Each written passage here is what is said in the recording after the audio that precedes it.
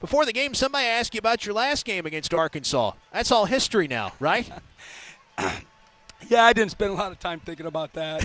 Um, although Will McNair certainly want to talk about it quite a bit in the in the post game, but um, you know that wasn't on the forefront of my mind, and and um, um, just proud of my kids. Just proud proud of them. They, they you know I've heard all about this place. I've never been to a game here. I've been to AAU events here a long long time ago, but um, obviously it's a great venue to compete in, and um, it felt really good. Felt really good about where we were at leading up to this game. Um, we talked about, you know, getting the road win at South Carolina, and we talked about um, not because we were happy about it, but how we handled the atmosphere at Alabama, and, and, the crowd really didn't affect our play. Didn't feel like it affected the outcome, and we wanted to kind of lean into that um, to, tonight, and we did. You know, you talked about Neil said you talked about earlier today that you felt like you had a really good plan for this game. Would you like to share a little bit of that plan with us? Sure. Um, we wanted to protect the paint at all costs. You know, they're not shooting it great from three. I don't know what they were tonight. Um, four for 18. Uh, so we really, really wanted to try to keep the ball out of the paint as much as possible. And um, we guarded our own men. We didn't switch uh, for the first probably 35 minutes of the game, and then the last five we went to switching all the ball screens, and you know that really helped us because you know they get in a rhythm, and Zero was just driving the ball against us, and we were struggling uh, in our coverage, and we went to the switch, and I thought it helped us. But um, and then we went in the post, you know, like we like we normally do. We, we trapped them, even though they're not great scorers down there, but we thought it was an opportunity to try to get our defense revved and, and turn them over. We actually had you know had planned to play more zone, but um, you know we felt like our defense had settled in, and so we didn't didn't do that. I, I did it on the fly once, and my staff's mad at me because they banged a three, but that happens sometimes. Well, I was asked before the game because of Arkansas shooting, do you think Coach Jans will play more zone defense? And I said, well, I don't know,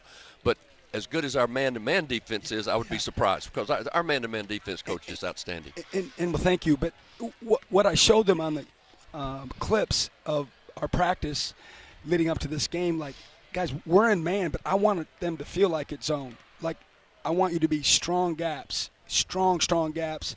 Normally, we don't come off guys in the deep corners when they drive the ball at them, but tonight we did more than we normally did because we just wanted to protect the paint at all costs. We felt like protecting the paint, and then just it was going to be a man's game around the basket. I mean, they were better than we were at finishing. We struggled obviously all night long at the, at the rim. We just couldn't couldn't get as many uh, baskets at the rim, and we were worried about that obviously as the game unfolded. But um, we felt at the end of the day like the last thing we talked about is hey you know, one of these games you better win the rebounding battle if you have a chance to win. And we were really good at halftime. We didn't. We end up winning by a couple, um, but I thought that was the key to the game. Well, you know, you keep talking about protecting the paint, protect the paint. I thought your offensive game plan today was get in the paint. Yeah. And Dashawn Davis was just outstanding. Was that part coming off that high ball screen, getting in there? Yeah. It, uh, he was outstanding doing it. Do, do, you talk about that before the game, or is that just flow in the offense? You know, we talk a lot about inside out offense, uh, either via the pass with Tolu or Will, or any of those guards getting in there. It doesn't mean it has to. You know, the ball has to be shot, but as you well know, it breaks the defense down. Usually they'll you know multiple opportunities will present themselves if you're able to get the ball in the paint. And man the first 10 15 minutes like we were really running good offense. Like i really liked where we at where we were at. Certainly in the second half um, it was a little stop and start and you know we were just trying to survive. It felt like at the end. But um, you know it's it, you got to give some credit to them too. They're big. I mean their, their guards are so big and their, their bigs are big like you know i think we talked about in pregame with Neil that's normal with the bigs around the league but their guards are so big, and the court felt felt shrunk. You know, it felt smaller, but um, we were trying to, to spread them out in the second half, especially, and get them in as many side ball screens as we could. Not only big, but athletic. Oh boy! You can be big and slow. They're big and athletic, and they yeah. can cover. Yeah. I thought in the second half. Their defense was about as good as we've seen all year, Coach. I mean, they really got after us. But every time they made a play and the crowd got into it, we made a play. We came back and made plays. And just talk about Cam Matthews down the stretch, what he did and the experience he has in these situations? You know, when he made the first one, I felt really good after that because, you know, it's confidence and rhythm. Um, I was pretty upset with him when he got the foul on the baseline out of bounds. Should have been. You know, and, and, you know, of course, I love Cam. Everybody knows that. He's our emotional leader. And of course, you know, he's I didn't foul him. I'm like, I watched you foul him. Yes, you did Yes. foul him. Coming from the guy that's never fouled. You know, Never. like every He never never fouls. fouls. And, and we, you know, we had an exchange, and um, but I know him. You know, I, I know these guys well enough individually, and and where we're at, and he obviously responded, and you know, played with four, you know, the whole time down the stretch, and some of the people on the bench were, were like, not yet. I'm like, no, we got to go. You know, we're not. I'm not leaving some of our best players on the bench on a road like this. We got to get them in the game and, and try to figure out how to win it. And then um, he obviously made some big, big drives and some big free throws. the, the play, and I, I'm going to let Neil get back to it, but the play down the stretch there where he drove the ball to the basket and Mitchell met him at the Oh. rim. What about that one? Oh, I mean, Was- was I'm that a glad collision? it was them and not us, right?